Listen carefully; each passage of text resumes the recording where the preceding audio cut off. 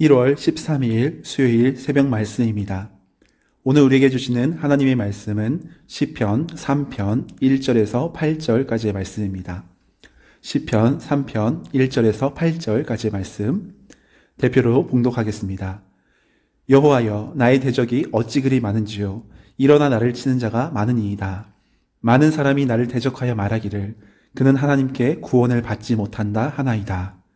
여호와여 주는 나의 방패시요 나의 영광이시요 나의 머리를 드시는 자이시니이다. 내가 나의 목소리로 여호와께 부르짖으니 그의 성산에서 응답하시는도다. 내가 누워 자고 깨었으니 여호와께서 나를 붙드심이로다. 천만인이 나를 애워싸 진친다 하여도 나는 두려워하지 아니하리이다. 여호와여 일어나소서 나의 하나님이여 나를 구원하소서 주께서 나의 모든 원수의 뺨을 치시며 악인의 일을 꺾으셨나이다. 구원은 여호와께 있사오니 주의 복을 주의 백성에게 내리소서. 아멘. 17세기를 대표하는 영성의 대가 중에 잔느 귀용이라는 분이 있습니다. 그분이 쓴 여러 책 중에 예수 그리스도를 깊이 체험하기라는 책이 생명의 말씀사에서 나왔습니다.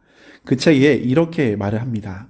나는 당신이 그리스도를 알고자 애쓰는 초신자라고 생각하고 이야기하려고 합니다. 주님께로 나아가는데 두 가지 방법이 있습니다. 첫째는 성경 말씀으로 기도하는 것입니다. 둘째는 항상 하나님을 바라보는 것입니다. 곧 하나님의 임재를 기다리는 것입니다. 성경 말씀으로 기도하는 것이야말로 성경을 대하는 유일한 방법입니다. 어, 잔느 규용이라는 사람은 주님께 나아가기 위해서 두 가지의 방법을 제시합니다. 성경을 그냥 문자적으로 읽는 것이 아니라 성경 말씀을 묵상하며 기도하는 것입니다. 그리고 항상 하나님의 임재를 기다리며 하나님을 바라보는 것이라고 말합니다. 참 의미 있는 말이라고 생각합니다. 성경 말씀으로 기도하기 가장 좋은 본문이 어디입니까? 오늘 우리가 읽고 있는 시편 말씀입니다. 시편은 기도의 고백이 담긴 시입니다. 시편을 기록한 수많은 저자들이 눈물 속에 광야길 한복판에서 만난 생생한 주님의 임재를 고백하고 있는 시들입니다.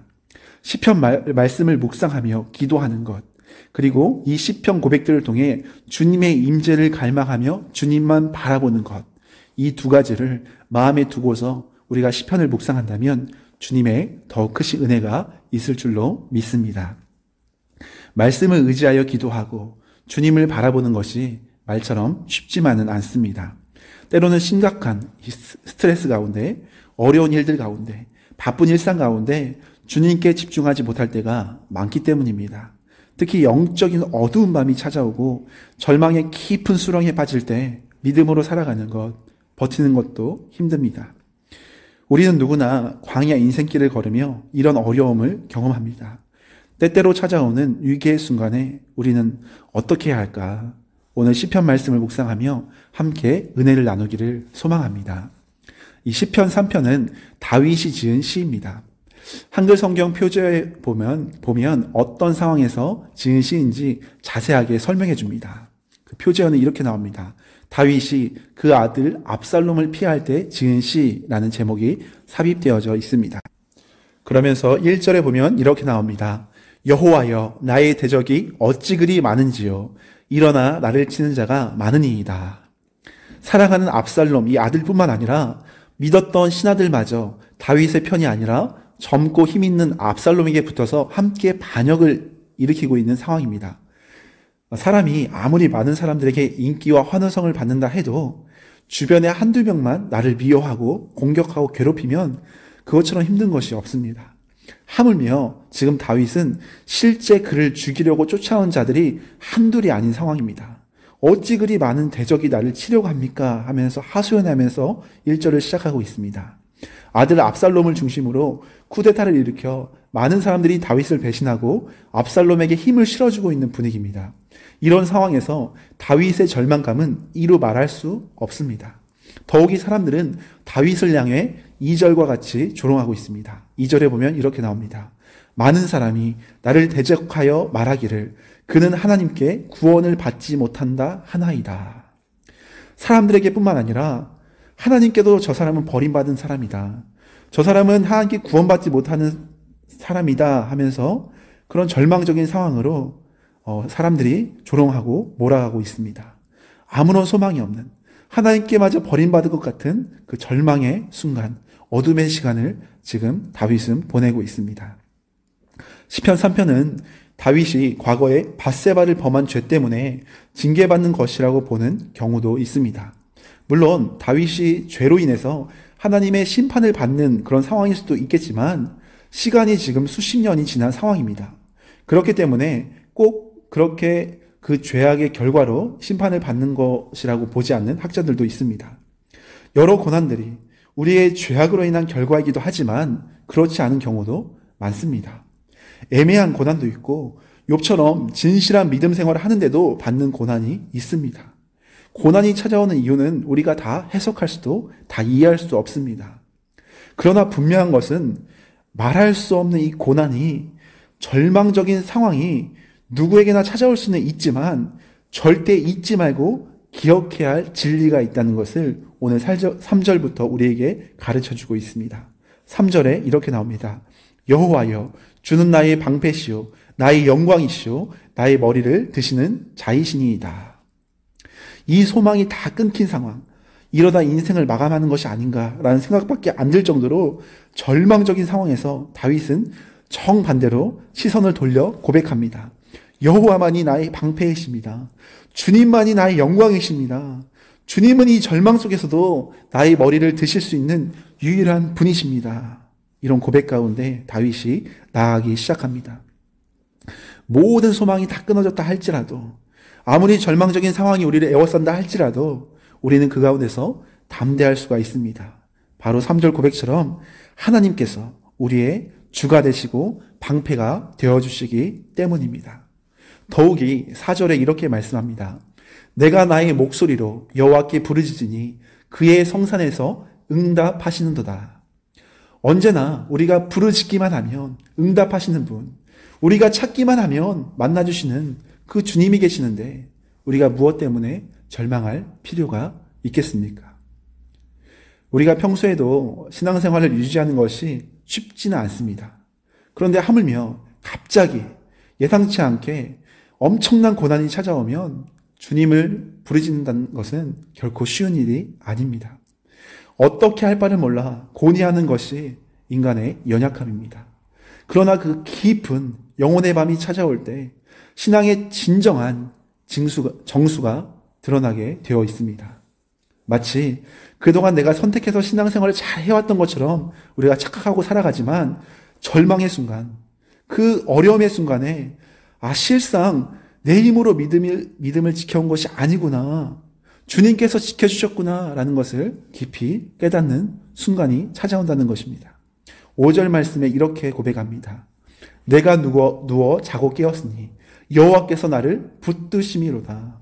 이 어려운 상황 속에서도 내가 누워 자고 깨었으니 여호와께서 나를 붙드심이로다. 당장 죽음의 위협 앞에 수많은 사람들이 죽이려고 달려드는 상황 속에서 어떻게 편안히 잠을 잘 수가 있겠습니까? 시편 기자의 고백밖에 이유가 없습니다. 여호와께서 나를 붙드심이로다. 여호와께서 나를 붙드심이로다. 여기서 붙드심이로다라는 말은 진행형입니다.